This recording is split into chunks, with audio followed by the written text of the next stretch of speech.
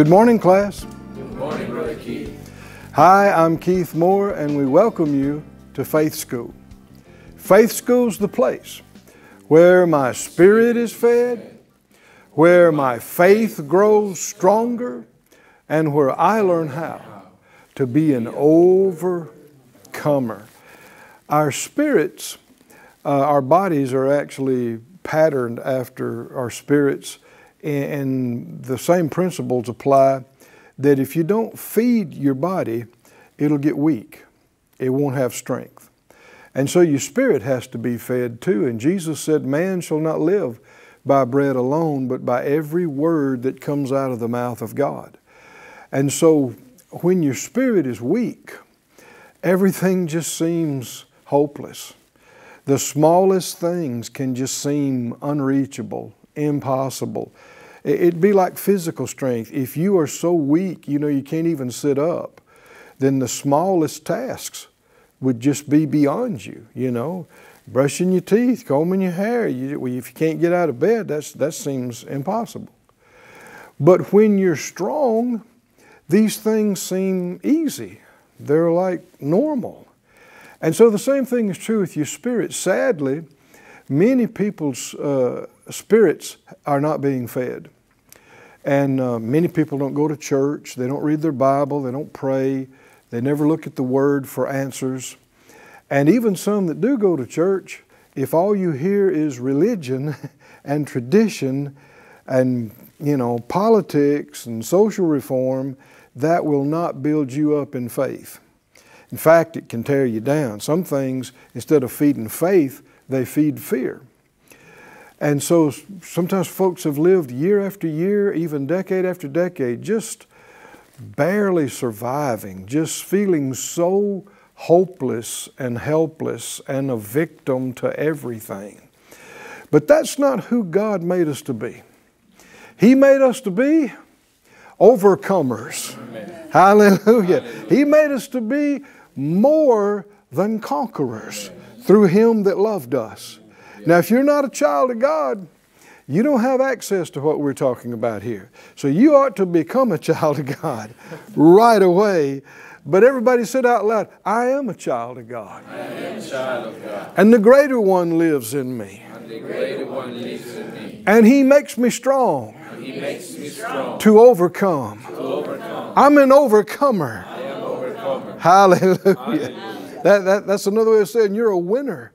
You are a winner. Whether you've been acting like it or not, if you're a child of God, that's what you are. That's your nature on the inside. So let's feed that spirit. Let's build up that nature and let it uh, rise up and overcome and dominate the problems in this life. Can you say amen? amen? Well, Father, all of us agree together today as touching this, asking you for the anointing, asking you for the utterance, asking you for the ears to hear answers right now where you know we need them. And we'll give you the praise and thanks in Jesus' name. Amen. Amen.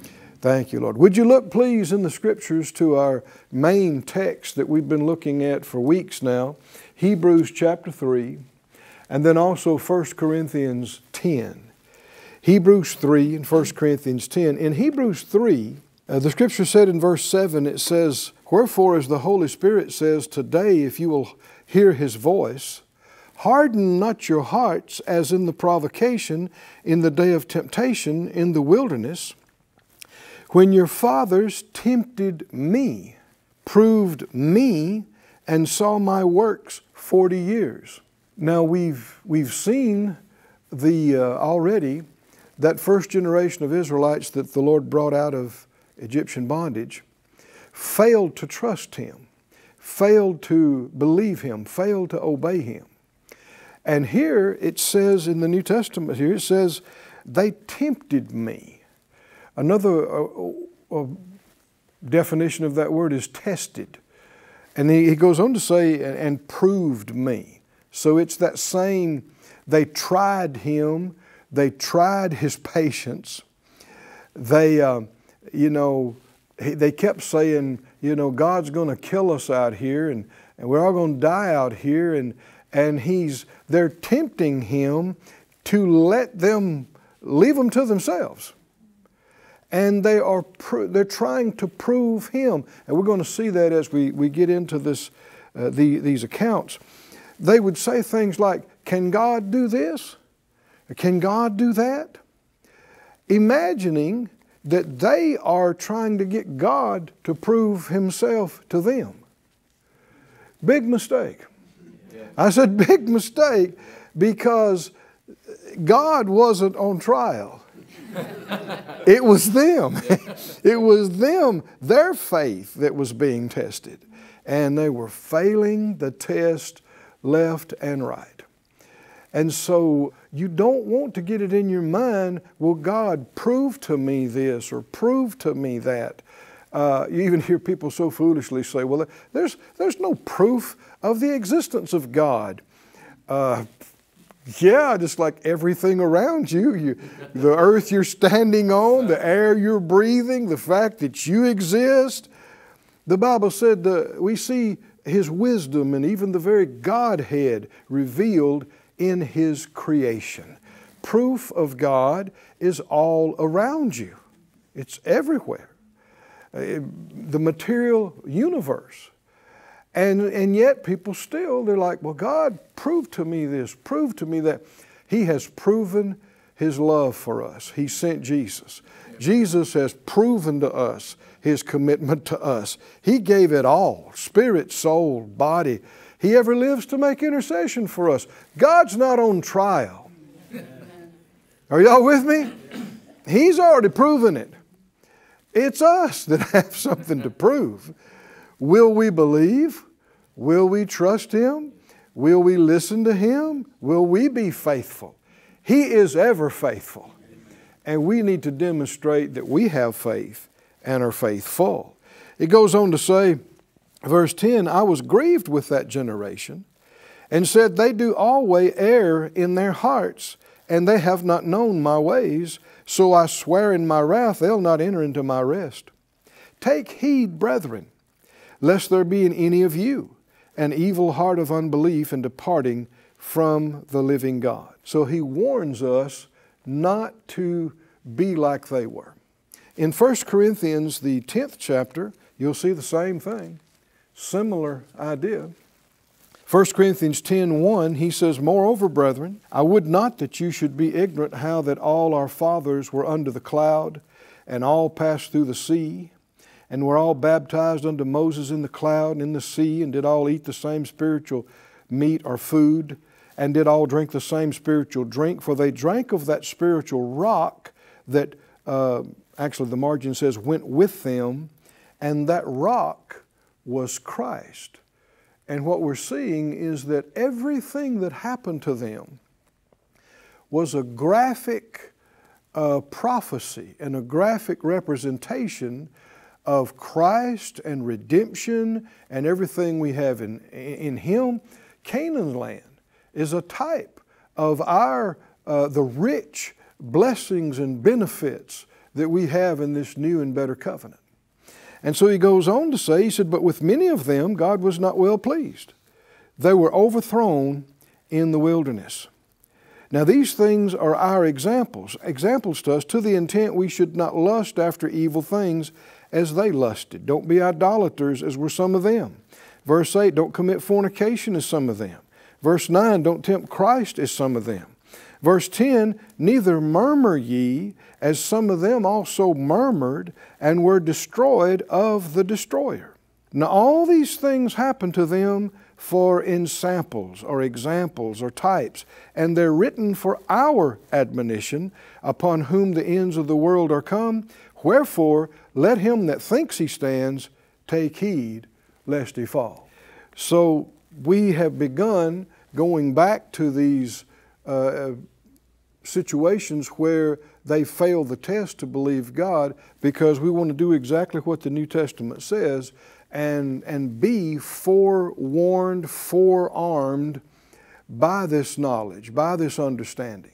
There are examples lifted in the Word of God examples to be like and follow, and examples not to be like and follow. And you need to know the ones what not to do.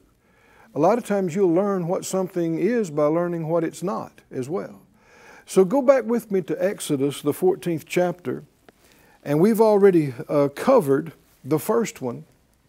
By the time the account reaches over in Numbers, the 14th chapter, there were 10 separate episodes or events where they failed to believe God.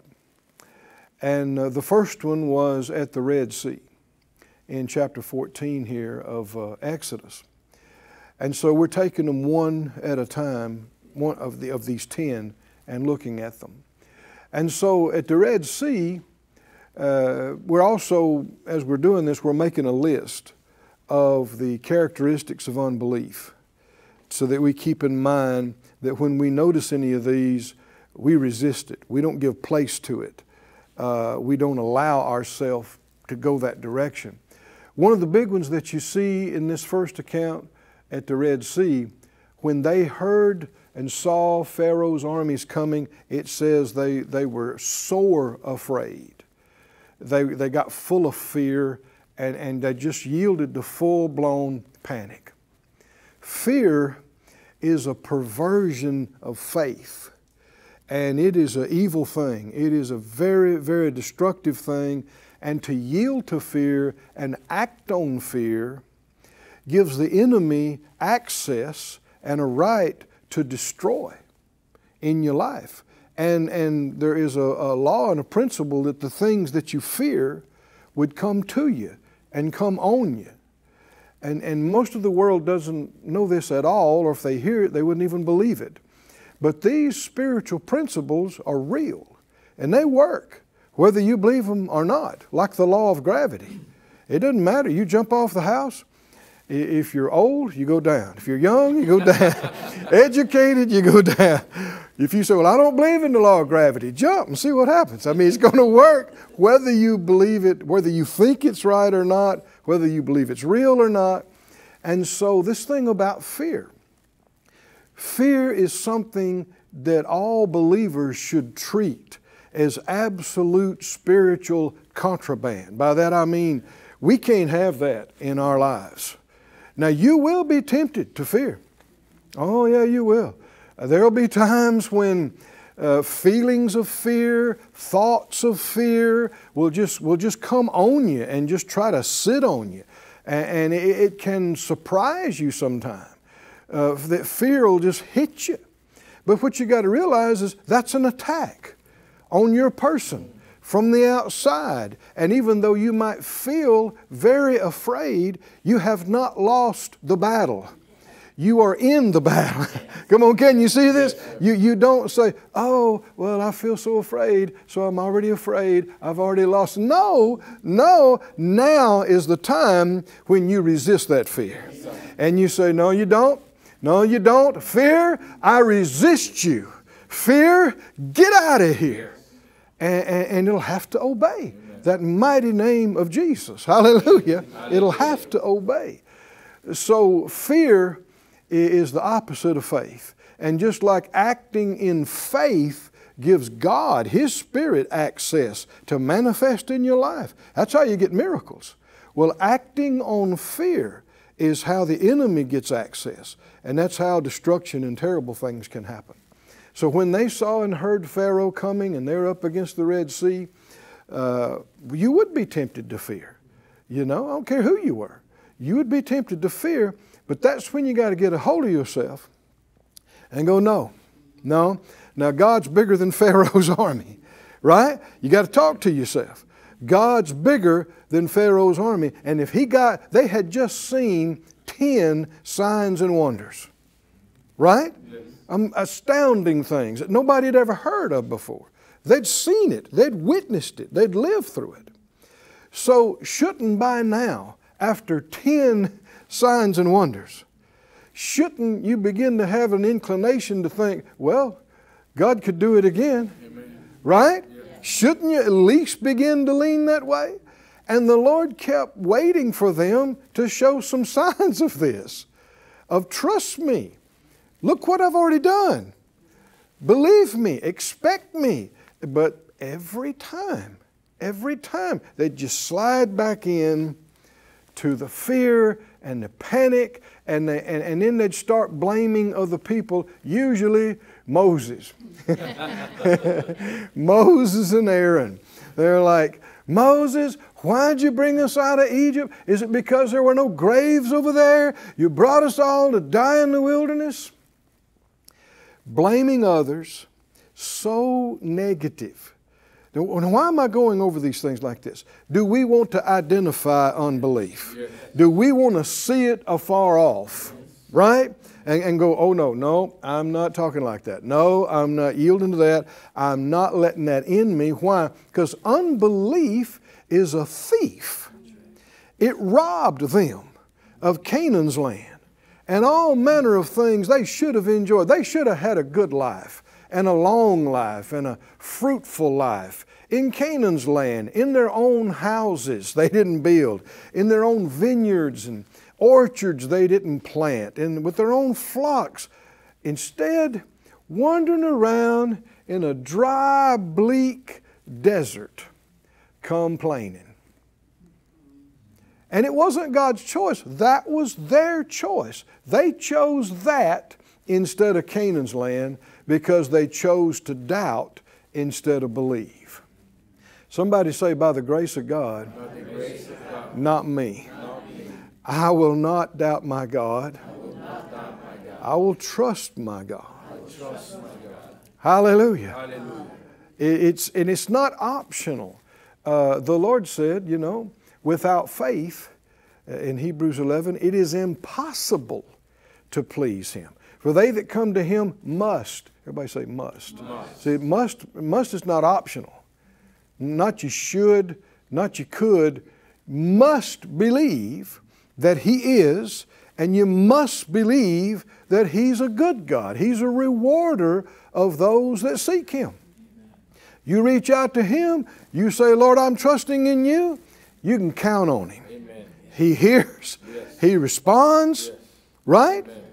But something else you can count on too. If you're going to reject Him, if you're going to doubt Him, if you're going to yield to fear and say there's no way, we're all going to die out here, then that's what's going to happen.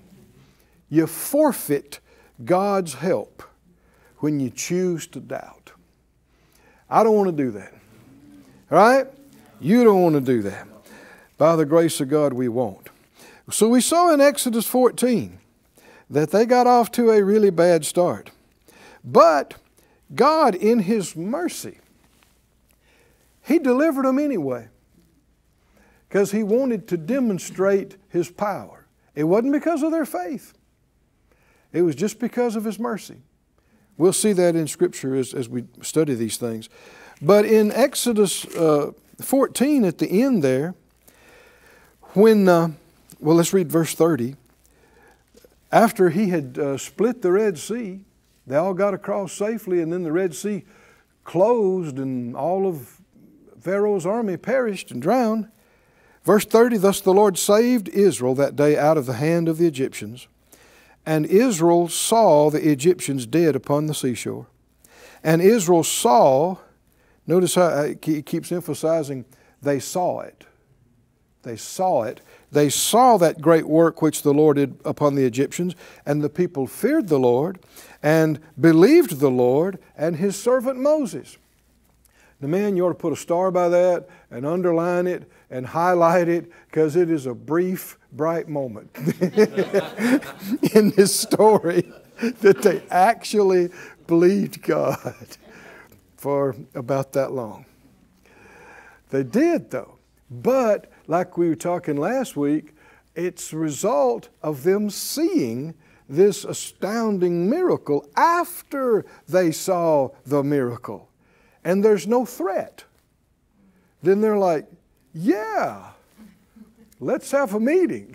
let's rejoice. And so we read in uh, the 15th chapter that most of that chapter is a, a song celebrating. I will sing unto the Lord For he has triumphed gloriously. The horse and rider, he's thrown into the sea. And then they, they, they sang about how big God is, and, and they sang about the great victory over Egypt and their enemies is not going to bother them anymore. They sang about how the fear of God is going to be falling on the Philistines and the Moabites and everybody where they're going, and how they're going to make it in, and how God's dwelling place will be there, and it's just glorious. And Miriam grabbed a tambourine, and they all got to playing and singing. Man, they're having a meeting. they're having a meeting. They're having a hallelujah time. They're actually believing in God that He can do it and that Moses is actually hearing from God and leading them. Really? now, You were laughing, but just a few verses before they, they're saying, Why didn't you leave us in Egypt? Why did you bring us out here? But it was after they saw and after the threat is gone and the pressure is off. You know, anybody can rejoice. and say, I believe God. When the bills are all paid, body's healed, you feel good, no threat, no pressure, no challenge. But notice in the, uh, at the end of the book here, verse uh, 22 So Moses brought Israel from the Red Sea, and they went out into the wilderness of Shur, and they went three days. Everybody say three days. Three days in the wilderness, and they found no water. Uh oh. They found no water. Now, is that surprising out in the desert that you, that you couldn't find any water? Now, the reason I say this is because you're going to see this same, exact same scenario again and again and again in these next, you know, eight past this episodes about the water. Very same scenario. And it's not shocking because they are in the desert and they are a massive group of people. People, you know, historians estimate at least 2 million people. It might have been closer to 3. And they got all their flocks with them and their herds. They need an enormous amount of water every day just to survive. But when there's no water, like we, we, we said last week, this is a challenge. But every challenge is an opportunity to demonstrate faith. Say it out loud, class. Every challenge, every challenge is, an opportunity, is an opportunity to demonstrate faith. demonstrate faith. Could they know how God would take care of them? No, that's too big for them. That's beyond them. On this occasion, he turned the bitter waters sweet. Who would have thought that would happen? On another occasion, he brought water out of the rock. He did that more than once. Who could have imagined that's how he would do it? No, you, you can't fathom and figure out uh, and you know forecast exactly what God's going to do, but you can trust His love for you. You can trust His ability. Amen. Right? You can trust His wisdom. You can trust His plan. You can trust His care for you. And that's a choice that you make in your heart every time you encounter a challenge. What's going on here? It's an opportunity, right? For me to demonstrate that I know in whom I have believed. And I am persuaded Oh, somebody say persuaded. I'm persuaded that He is able. He's able to keep what I've committed to Him. Well, what if you don't commit it to Him? Well, is He able to keep what you don't commit to Him or what you pull back and pull away? No, you, you got to roll your cares over on Him. You've got to commit things to Him and trust Him. Have they seen miracles? They've seen those 10 mighty signs and wonders. Now they've seen another one with the splitting of the Red Sea. They've seen things nobody's ever heard about. Couldn't it have, the possibility have crossed their mind? God can get us water or get us to where water is? You know, don't you think that at least possibility would cross their mind? But see, they chose not to be positive. They chose instead, back into the same thing, they, they found no water. And they came to Marah, and there was water there. I'm sure they all got excited, but they couldn't drink the waters of Marah, for they were bitter. And therefore the name of it was called Marah, or, which means bitterness. And the people did what? Said, Well, God's got us this far. He can get us the rest of the way. huh? Nothing's too hard for God. Huh? Nothing's impossible. That's what you want to hear them say, right? Because you, you, we know the rest of the story. And you so much want to say, hmm, quit that. Stop that. Show God you trust Him. Show God you believe in Him. You don't have to know everything. All you got to do is make a decision that you trust your God. But no, what they do? Murmured against Moses, saying, What are we going to drink? Back to that panicky, blaming, disrespectful, unthankful, unbelieving. Well, the more I talk about it, the more I dislike it. Huh? You feel the same way? Well, does God dislike unbelief? Oh, it, it bothers him. He, he feels quite strongly about unbelief and fear. You and I need to be in agreement with him that we despise unbelief. We detest doubt. Why? Because there is no reason, there is no reasonable uh, excuse for doubting a God who has never failed and who never will fail, who has never lied and never will. There's no excuse for that. Say it out loud, Lord, Lord I trust you. I trust you. I trust you I trust you. in life, in death, past this life. I will always will always trust in you, trust in you. for you are faithful, faithful, and good. My God, I trust you. Hallelujah. Hallelujah. Hallelujah. Oh, praise God. And our time's up for today. Let's say it like we do sometimes. I live by faith. I walk by faith. I overcome this world by faith. I am strong in faith, giving glory to God. Amen and amen. Well, come back next time. There's a lot more to see here in Faith School.